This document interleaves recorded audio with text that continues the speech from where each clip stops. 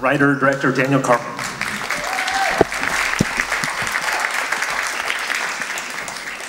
My name is Sean Brown. I'm with the screening committee with the Sidewalk Film Festival, and I'm going to kick things off with the first question. Uh, something I'm curious about, I'm sure everyone else is too. How did you find and choose your subjects for the film? Uh, I just wanted to thank the festival real quick. This is my second film here. Uh, it's my second time down in Birmingham, and I really love it. Um, it's a real honor to be in this theater too, because I was very jealous a couple years ago every time I saw something here. So thank you for programming it in such a beautiful place, and for coming Sunday morning. Um, uh, so this film was something that I started with a colleague of mine. Um, very early on, we just sort of found, uh, we found Pahokee first. We knew about the, they call it the Rabbit Rundown. It's become a somewhat well-known sort of regional thing that the young men in town do. Um, and we wanted to explore young, you know, male masculinity. Um, at the time, it was about 2008 when we started sort of uh, prepping for the film. And we wanted to find three towns with similar sort of, not necessarily demographic, but similar sort of socioeconomic um, just you know low population sort of boom town that's sort of in maybe like fading in the last few decades, um, built up around a factory or a mine or something that we could sit, we could explore. You know, in in the year 2000. Um, what is it like for a new generation of men to grow up in this in, in these towns that traditionally you would follow the footsteps of your great grandfather and your grandfather and your father into the same sort of line of work? And we found that these these men were for, were for the first generation to sort of think about maybe expanding the horizons and moving out of town and just sort of seeing what other opportunities there were for men in these towns where, where opportunities were sort of slowly dwindling away and, and things were changing. So we sort of found the towns first and then we sort of planted ourselves in each of these places and, and you know, made ourselves known and, and followed different guys around for a while. And, and, you know, we had a cast a pretty wide net at first until we sort of zeroed in on, uh, on Larry, Nick, and Ty. So there's lots of footage with some other guys that come in and out of the movie here and there, but um, we knew it was important to focus on one subject in each town and let their lives kind of intersect in, in the ways that they would naturally. Was it your plan from the very beginning to give yourself a, a seven-year time span, or how did that come about? No. Um, we started out wanting to do um, a little bit more of like a deeper dive into a shorter period of time, um, a year or two maybe in each of their lives. We didn't really know. It was a pretty open-ended project when it started. Um, and the, uh, the, the, longitudinal elements sort of came, came about just sort of naturally as we made the film. And it was, it was always sort of a labor of love. We made it kind of in between making other films. I made a couple other films inside the time period that I made this one. Um, and it just, it just sort of uh, kind of kept going. Things would happen in their lives. We want to go down and film it some more. And then suddenly we realized, okay, well, all of that early footage was them sort of talking about where they wanted to be in five years, 10 years. So why don't, why not just go and let them sort of speak for themselves? So um, what started as like, well, maybe this will be a little epilogue to our film, again, just kind of kept snowballing and, you know, six months became a couple of years, and now the film is about 50-50 with the old footage and the new footage. So it just sort of, the film kept kind of strengthening the more time we spent with these guys, so we figured why, why rush it. Who has a question? Uh, the, qu the question is, how did he choose the title?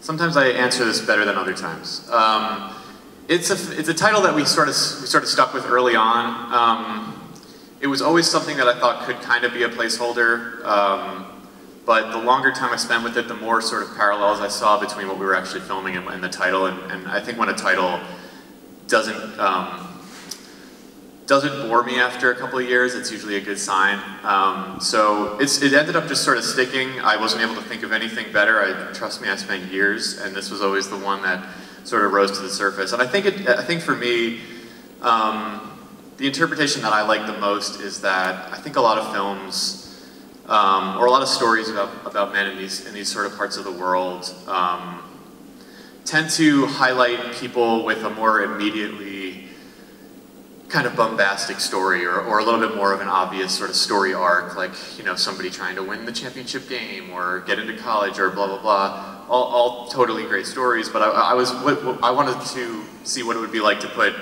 you know, quote unquote ordinary young men um, as sort of the leads in a film and let them really just, they're in every scene, everything you hear is their own words. So sort of elevating, you know, sort of the every, everyman um, character to sort of a, a cinematic hero. So, so that idea of sort of the cowboy and what that sort of actually looks like in you know 2018, and and um, to me, if you spend enough time with anybody, their story will be dynamic enough to to tell, and everybody has sort of an interesting way that they got to the place that they are. So um, it was kind of like let's cross our fingers and, and, hope these guys' stories, you know, turn into turn into something dynamic. But uh, but if there's something I learned over the course of this film, which was about a nine-year process for me, is that um, if you're patient enough and you spend enough time with people, everybody's got a dynamic story to tell. So um, yeah, I just like the idea of sort of elevating these kind of young men to sort of heroes of the of the screen, and it really works in a place like this too. So thank you for helping me prove my point. Who else has a question? Yeah, you right there, man.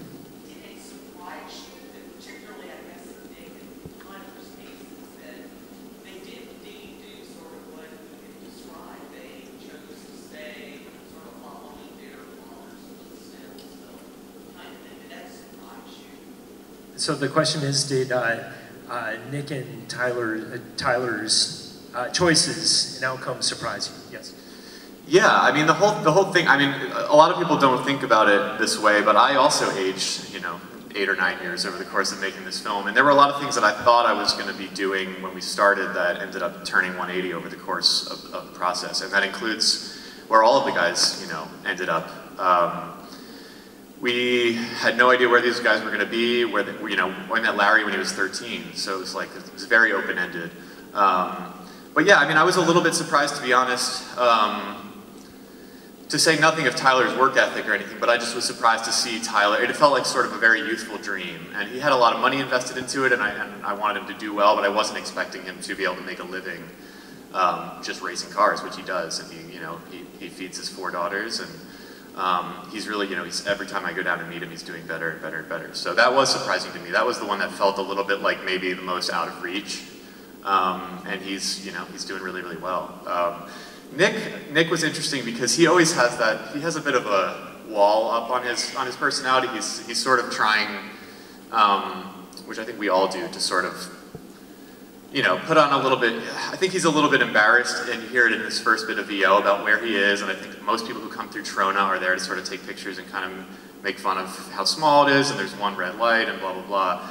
And I think he, he tries to sort of hide that behind um, showing that he too, you know, he can buy a car, he can buy a house, he can, you know, and I want to be here. This is actually, you know, I made fun of it when I was a teenager, but I realized that I actually love Trona. And, um, I was surprised to see that turn in him, where uh, something that I was worried was going to be he was going to be kind of doomed to stay there was actually something that I legitimately feel like is now is where he wants to be. Um, so that was surprising too. And then of course Larry's story was just was just really tragic and um, not at all what we necessarily thought we were going to be getting into when we started. But it was it was important to us to stick with it, and, and with you know with Larry's blessing and his family's blessing, we stayed with him. He let us you know film him in prison. He wanted to make sure that he kind of held up his end of the bargain, so to speak. Um, and it was just a really trusting relationship, and, and I, I'm thankful that he let us sort of stay on board even when things sort of took a turn, and, and um, hopefully his story is, is meaningful to people to see that sort of unfold in real time that way. But, uh, but yeah, I mean, the whole thing was a constantly surprised, constantly sort of shifting gears, sort of trying to trying to get up above the film and see all the pieces and see where the stories are going. But the whole thing was just sort of a, a bit of a wild ride. But but um, yeah, yeah, I felt like if I didn't stay true to the original concept and just let things let the guys sort of lead the story, um, it would feel a little bit artificial.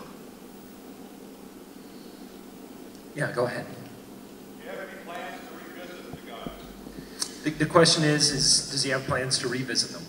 Um, I'm, I'm enjoying my time uh, away from those three towns for a little while, but um, yeah, I mean, I'd love to. I, I, I, stay in touch with them online. I texted Larry the other day. Um, they've all seen the film. Nick came to the premiere in New York. Um, so yeah, I'm still in touch, but I think we're all kind of enjoying a, a much-deserved break after nine pretty intense years together. So, um, but yeah, I, I, would love to. I mean, it's the kind of thing that you can kind of. I could have kept shooting and shooting and shooting, which is kind of where we ended up, how we ended up here. So I would love to sort of revisit them and see where they are in another five, ten years.